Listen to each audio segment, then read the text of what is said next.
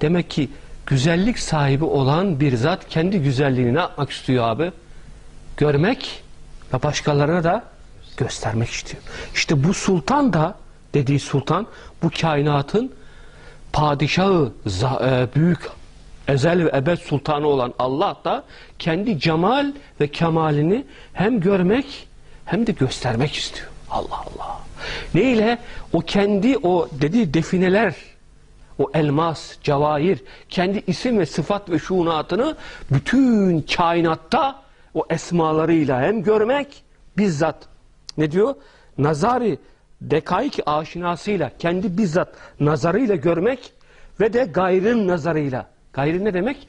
Başkaların nazarıyla kendi eserlerinin ne yapmasını istiyor? Görünmesini. Hem kendisi görüyor hem de bizlere kendi isim ve sıfatlarını göstermek istiyor. Ya bak şimdi. Sonra bak her cemal ve kemal görmek ve göstermek isteme sırrınca o, o sultan-ı zişan, o büyük sultan dahi istedi ki bir meşher atsın. Yani bir meşher nasıl ki mesela çok güzel bir e, ressam düşünün o ressamlık kabiliyetini görmek ve başkalarına göstermek ister ve ne açar abi? E, sergi açar. Cenab-ı Hak da kendi güzelliğinin, esmalarının, o esma-i hüsnasının ve sıfatlarının görülmesi için ne yapmış dünyayı? Bir sergi yapmış. Ve bu dünya sergisinde kendi antika sanat eserlerinin esma ve sıfat ve şunatını görmek ve göstermek istiyor. Kendisi görüyor değil mi? Cenab-ı Hak kendi isimlerini görüyor ve bizlere de göstermek istiyor. Bak şimdi mesela bahar mevsimi geldi değil mi? Bahar mevsiminde bakıyorsun o kupkuru ağaçlar, efendim o ölü topraktaki çiçekler, nebatat ne yapmaya başladı abi?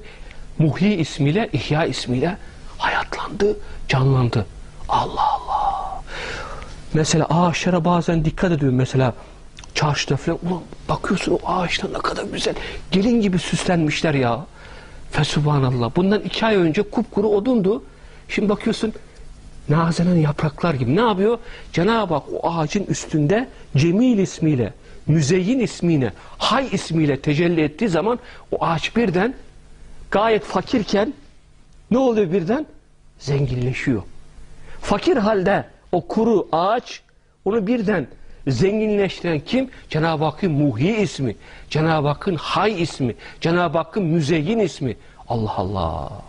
Cenab-ı Hakk'ın Mülevvin ismi. Hepsini boyamış ya. Bazen bu çarşıda görüyorsun değil mi mümin kardeş? Rengarenk çiçekler ya. Allah Allah. Aşık olmamak mümkün değil ya.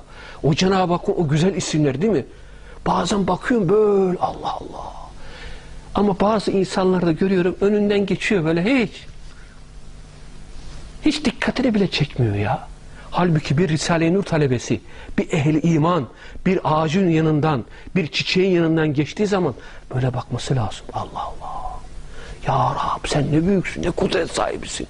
Bunlar iki üç ay önce kışın kupkuruydular. Bahar mevsiminde sen bunları rengarenk, ayrı kokularla, ayrı efendim çeşitli renklerle simsiyah topraktan yaratıp bizlere kendi isimlerinin güzelliğini gösteriyorsun. Ya Rab sen ne büyüksün. Maşallah, barekallah, subhanallah diyerek takdis ile diyor değil mi? Onu metüsena etmek lazım yani. O ağaç da senden diyecek ki hay Allah razı olsun senden be. Beni görüp de birisi Allah namına beni methetti diyecek. Ama orada bazı insanlarımız hiç öyle gelip geçiyor. Umrunda bile değil ağaçmış. Niye? Çünkü Risale-i Nur gibi Kur'an'ın tefsirini hakaik imaniye derslerini almadığı için dikkat çekmiyor bak. Dikkatini çekmiyor ama bir ehli imanın dikkatini çekiyor. Çiçekte, ağaçta, yıldızlarda, insanlarda, yerdeki bütün mahlukat Cenab-ı Hakk'ın ne dedi? Hazinesinden çıkmış. Zaten hadisi kutsi de ne, ne diyor Cenab-ı Hak? Ben gizli bir hazineydim, bilinmek ve tanınmak istedim. Eğer Cenab-ı Hak o gizli hazineyi göstermiş olmamışsa ne olur bilinmeyecek. İşte o gizli hazineyi hem görmek hem de göstermek istiyor. O hazinenin içinde neler var? İşte bak görüyoruz. 300 bin nebatat, 300 bin çeşit hayvanat diyor ya. Allah Allah. 300 bin nevi hayvanat var ya. Saymakla bitiremezsin. E peki bir de bu esmalarının ahiretteki şeyini düşün. Dünya diyor ufak bir numunesi yani esmalarının gölgelerinin gölgesi. Ama cennette, ahirette esmalar projektör gibi gösterecek yani. Burada o gördüğün ufacık bir çiçek ama orada cennetteki daha böyle mükemmeliyet. Orada esmalar Cenab-ı Hakk'ın isimleri gölgesiz bir şekilde tecelli edecek. Onun için Üstad bir nevi eğer diyor cenneti diyor bir nevze diyor fehmetmek istiyorsan git diyor baharda o diyor çiçekleri seyret bir nebze diyor cennetin diyor ufak bir şeyini diyor görebilirsin diyor. Yani oradan bir ufak bir pencere açabilirsin yani hayalinden. Dünyada bu kadar güzelliklerle Cenab-ı Hak yaratan nebatatı, hayvanatı cennette onlara daha güzellik bir şekilde verecek yani. Cenab-ı Hak cümlemize nasip etsin.